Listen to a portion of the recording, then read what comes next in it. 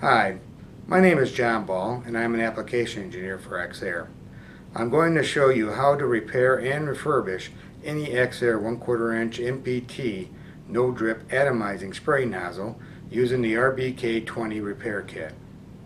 The repair kit includes three different size O-rings, a quad ring, a gasket, a spring, and a small washer. The tools that you will need are a 7 8 inch open end wrench or adjustable wrench, a pin wrench, an O-ring pick, and some O-ring grease. I will be using the model AF2020SS 1 quarter inch NPT no drip atomizing nozzle for demonstration. First, place the nozzle in a soft grip vise. Remove the air and liquid caps with the wrench. Then, remove the gasket. You notice a stem with a small O-ring and a washer. Remove these from the stem by pulling off with your fingers. Turn the atomizing nozzle over with a pin wrench. Secure the cylinder tube. Remove the cap from the cylinder with the 7 8 inch wrench. The spring will come out with the cap. With the pin wrench, remove the cylinder tube from the atomizing body. If you look at the bottom of the cylinder, you will see two O-rings. Remove both O-rings. You may have to use an O-ring pick to remove the large O-ring from the groove. Push the pin upward until the piston comes out. The quad ring is located on the piston in a groove. Remove it. Inspect the parts and make sure that there is no debris.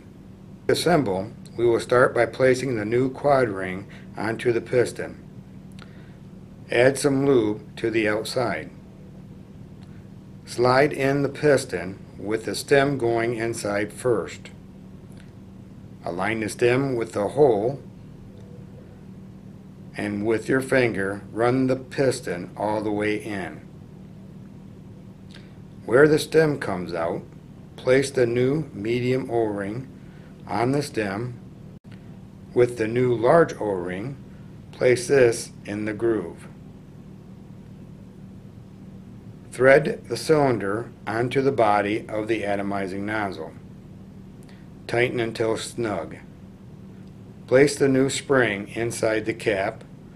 Thread it into the cylinder. Tighten lightly. Turn the atomizing nozzle over to expose the end of the stem. Place the new small washer onto the stem and press slightly. The washer should snap on the stem. Add the new small O-ring over the stem and onto the washer. Add the gasket onto the liquid cap. Thread the liquid cap and the air cap back onto the body. Tighten until snug and the unit is ready for use.